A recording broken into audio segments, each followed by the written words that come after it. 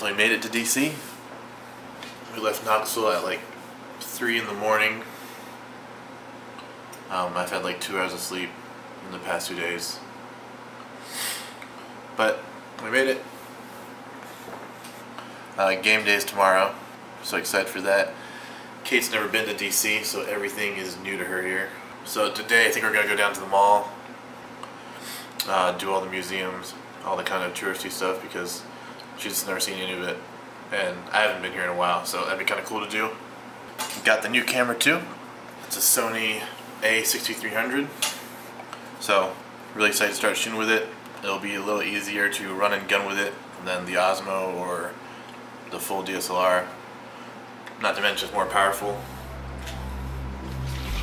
So we'll get a little caffeine, get our energy up, and let's hit him with the music. Last night you turned no all rip shirt iPhone screen cracked Did I pay the bar tab? Can't remember anything Did I have a good time? Calling all my new girls Use a couple new lines Sometimes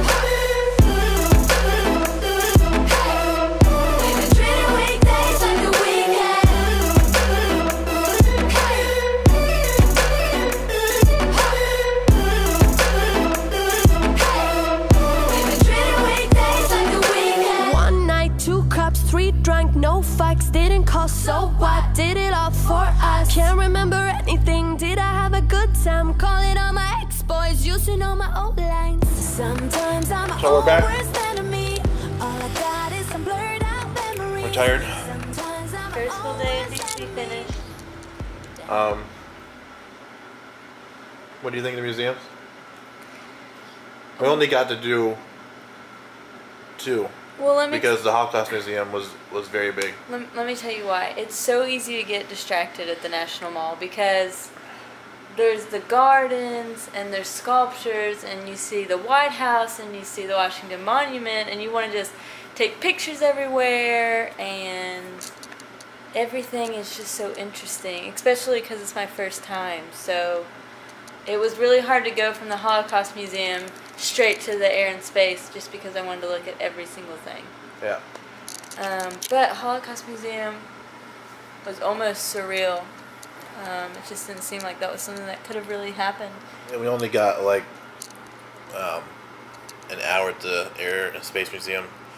And we just got tired and wanted to come to the room and get um, pizza.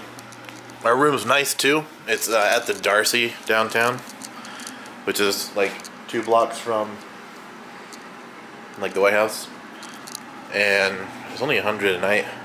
So you have this kind of room right here, a little desk. This TV in a frame.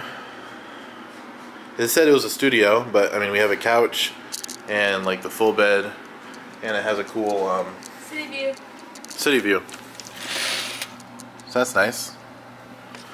But uh, we're just gonna chill now. Have some pizza, and get ready for the Alabama game. Glad, glad Um, we didn't do. Yeah, I'm glad we did the Holocaust and stuff today. Yeah. But then we're gonna hit the rest up.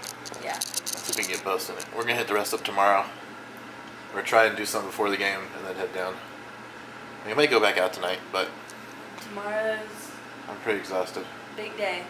Big day. Game day. So